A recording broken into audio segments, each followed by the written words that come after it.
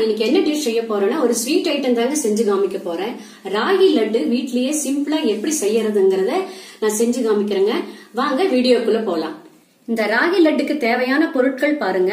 ஒரு கப்பு ராகி மாவு வீட்டுல அரைச்ச ராகி மாவு உருண்டை வெல்லம் கொஞ்சம் பன்னெண்டு பீஸ் முந்திரி ஆறு பீஸ் பாதாம் மூணு டேபிள் ஸ்பூன் வறுத்த நடக்கல்ல அஞ்சு ஏலக்காய் பொடி பண்ணி வச்சிருக்கிறேன். தேவைக்கு நெய்யுங்க.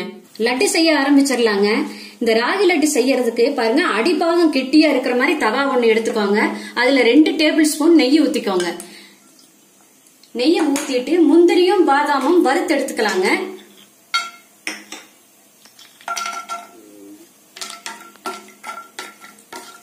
வறுத்தாச்சுங்க. இந்த நெய் தவாவிலேயே நம்ம என்ன பண்றோம்னாங்க ராகி மாவு எடுத்து வச்சிருக்கிறோம் இல்லைங்களா? அந்த ராகி மாவை வறுத்தரலாங்க. அடுப்பு மீடியத்தில் வச்சுக்கோங்க. அடுப்பு மீடியத்தில் வச்சுட்டே வறுக்கணுங்க. பத்து நிமிஷம் ஆகுங்க. நல்ல வாசனை வருங்க. இந்த ராகி மாவு இந்த நெய்யில வறுக்கும் போது நல்ல வாசனை வருங்க. கைவிடாம நல்லா வருங்க. மாவு வறுத்து அஞ்சு நிமிஷம் ஆச்சுங்க. மாவெல்லாம் பாருங்க கலர் மாறுது வாசனை வருதுங்க. ஒரு டேபிள் ஸ்பூன் நெய் ஊத்திங்க. இனி ஒரு அஞ்சு நிமிஷம் வறுக்கணுங்க. ராகி மாவு பாருங்க பத்து நிமிஷம் வறுத்தாச்சுங்க. மனம் அவ்வளவு மனமா வருதுங்க. கலர் எல்லாம் மாறி இருக்குது பாருங்க. மாவு எதுக்கு வறுக்கிறதுனாங்க? அப்பதாங்க இந்த மாவுடைய பச்சை வாசனை போகுங்க. ராகி மாவு வந்துங்க பாதி வெந்துருங்க. இந்த வறுக்கிறதுலயே பாதி வெந்துருங்க. இப்ப நம்ம என்ன செய்யறோம்னா ஒரு பவுல் எடுத்து வச்சிடலாங்க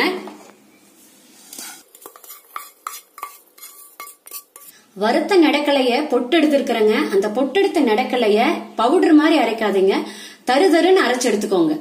அடுத்தது என்ன செய்யறோம்னாங்க? நெய்யில வருத்தம் இல்லைங்களா? முந்திரியும் பாதாமியும். அதையும் இதே மாதிரிங்க கொஞ்சம் தரு தருன்னு அரைச்சு எடுத்துக்கலாங்க. அரைச்ச நடக்கலையுங்க இந்த ராகி மாவோட சேர்த்துக்கலாங்க. வறுத்த முந்திரியும் பாதாமியும் ராகி மாவோட சேர்த்திடலாங்க. பாருங்க இது கூடயே நம்ம அஞ்சு ஏலக்காய் பொடி பண்ணி வச்சிருக்கிறேங்க. அதையும் இதோட சேர்த்திடலாங்க. சேர்த்துட்டுங்க பாருங்க எல்லாத்தையும் நல்லா கலக்கி விட்டுருங்க. பாருங்க இந்த நெடக்கல்ல பாதாம் முந்திரி எல்லாம் ஏன் நான் வந்து குரணையா அரைக்க சொன்னேன் அப்படின்னா நார்மலா நீங்க ராகி சாப்பிடும் போதுங்க பல்லுக்கு நாக்குக்கெல்லாம் புடிச்சுக்குங்க. இந்த மாதிரி குரணையா அரைச்சு சேர்த்தும் போது நார்மல் லட்டு சாப்பிடுற மாதிரி இருக்குங்க. அதுக்கு தாங்க இந்த மாதிரி குரணையா அரைக்க சொன்னேன். இப்ப எல்லாம் கலக்கியாச்சுங்க எடுத்து வச்சிருங்க ஆறட்டுங்க.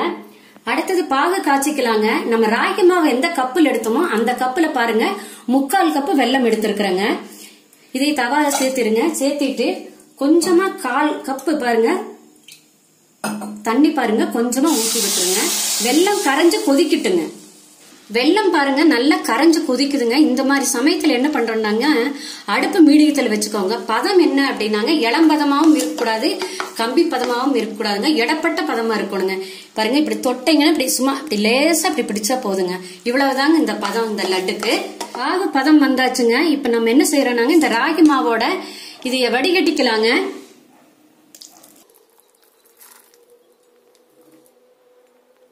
பாருங்க இந்த ராகி மாவோட இந்த பாகையெல்லாம் நல்லா இப்படி கலக்கிருங்க. இந்த சூடா ஊத்தும் போதே இந்த ராகி மாவு நல்லா வெந்துருங்க. பாருங்க இந்த மாதிரி நல்லா கலக்கிட்டு ஒரு மூணு நிமிஷம் மட்டும் அப்படியே விட்டுருங்க. கொஞ்சம் ஆறுட்டுங்க. அப்பதான் நம்ம உருண்டை பண்ண முடியுங்க. வாசனை அவ்வளவு நல்லா வருதுங்க. இந்த பாகுடைய வாசனை ஏலக்காவுடைய வாசனை எல்லாம் சூப்பராக இருக்குதுங்க. கொஞ்சம் ஆறட்டுங்க. பாருங்க ராகி மாவு வெது வெதுப்பான சூட்ல இருக்குதுங்க. நம்ம உருண்டை பண்ண ஆரம்பிச்சிடலாங்க. கொஞ்சமா இப்படி கைக்கு நெய் தொட்டுக்கோங்க. நெய் தொட்டுட்டுங்க. பாருங்க நீங்க இப்படி உருண்டை பண்ணிடுங்க. நல்லா இப்படி நல்லா இறுக்கியே பிடிச்சுங்க உருண்டைய.